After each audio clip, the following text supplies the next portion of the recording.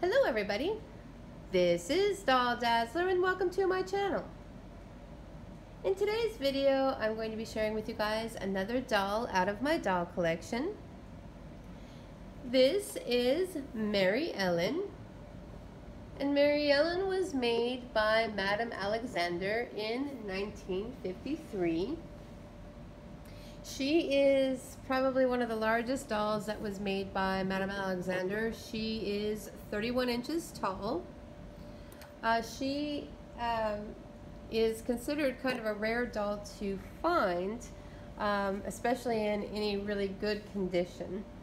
And I had purchased her off of eBay uh, a couple of years ago, and uh, when I found her, I was I was really happy to have found her um, because she's she is rare, but um, she does have um, a couple of flaws. Um, she was a I don't know I think I I got her for a pretty good deal, but um, still being a rare doll, uh, she can be very very pricey. So. Um, I did go ahead and purchase her because the deal I got her for, it was really a good deal for the doll that she is. Um, she is made out of all hard plastic and um, um, most of um, uh, Madame Alexander's dolls are hard plastic or composition. And I believe she is a walker doll. And I'm going to try to lift her up here and see if, I can't remember if her head's attached to her. Yeah, she's a walker. So when you move her legs back and forth, um, her head goes back and forth. So um, just to point out a few of her flaws, I'm going to get her really close because most of her flaws are in her face. Her body is actually in pretty good shape. She does have just a slight uh, older uh, odor to her. Um, some of the uh, older dolls that are made out of hard plastic um, do um, tend to have kind of a spoiling smell about them and I don't know if um, if there's any way to to keep that from happening or to keep it from getting any worse than it is but um, I'm actually um, looking to um, to downsize my collection. And so because she is so large and this would be the only reason why I would ever consider parting with her um, is is because she is she's large. And I don't have enough room to accommodate uh, such a large doll. Other than that, um, I would definitely hold on to her. But um, so in her face, most of uh, most of the damage is. I wouldn't say that it's damage. It's probably just um, somebody that knows restoration could probably fix her up with no problem. But um, so probably the worst things are like this little cheek rub. Um, it's showing somewhat more of the pink, uh, the pink cheek through uh, that's outside paint. And then there's a little scuff on her nose. She does have all of her eyelashes, if you guys can see that, but she's missing her eyebrows.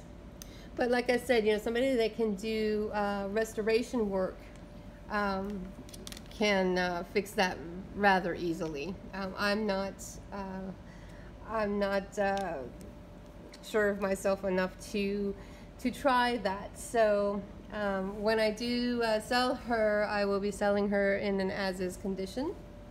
Um, she does have a little bit of a paint nick on her uh, lip, but that again, I mean, that's, it's really uh, not that big of a deal. So um, the only uh, other item of concern is the yellowing of her eyes. And some of it could just be um, from, you know, soiling because I haven't really cleaned this doll either.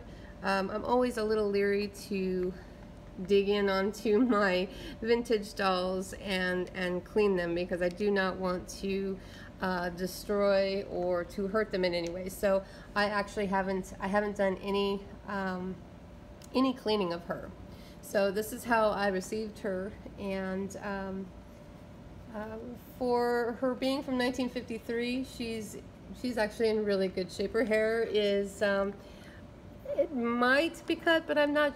I'm not too sure because Madame Alexander had a lot of uh, short hairstyles as well. But um, you can see the top of her head, maybe. I can bring the camera in. Uh, always high bangs uh, for Madame Alexander dolls. So I know that those are not cut. Um, and the back seems like it's still very, very full in that wig. Um, and I'm not too sure. I think it's just a, a regular wig that's on her. Um, could be one of those uh, skull wigs. It's hard to tell. Her wig's on there pretty well, so um, very good, uh, good condition uh, with that. Um, all the rest of her body is in pretty good shape. I'm going to try to do the best I can to show you guys um, uh, her dress. And I am not for sure if this is an original dress to her or if it is something else. Because um, I think um, Patti Playpal um, was maybe just a little bit bigger than her, but um, it could be a dress from a different doll. But it's very, very pretty, and once cleaned, I would imagine it would be uh, really, really nice but you can see that it's got these uh, flowers all over on it. And there doesn't seem to be any real apparent damage to that. Uh, a little bit of sun damage, probably from display, um, and that could be the case with her eyes as well. And then underneath, I'm hoping that you guys will be able to see this, um, this part of the dress, it looks like might might be original to her because I know this this is a characteristic of Madame Alexander to have several slips and netting underneath. She does have a little bit of discoloring. Let me see if I can lift her up for you guys. She has a little bit of discoloring on her pantaloons. If you guys can see that. So quite a bit of, of discoloring on those uh, from age. Um, they're starting to tear a little bit. And then also to possibly uh, not uh, chipped paint, but it's faded paint on her legs. Let's see if I can lift those up so you guys can see. You can see that right in there. But um, anybody, like I said, that can restore a doll, um, it would probably be no, no problem at all. And then it appears that she does have on her original shoes. So, um, she does, like I said, she does carry a little bit of that slight odor of, of the uh, plastic or hard plastic dolls. Um, but it's not, it's not real, real serious.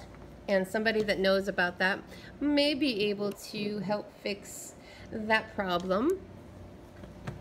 And then her markings are on the back side of her head, right underneath her wig.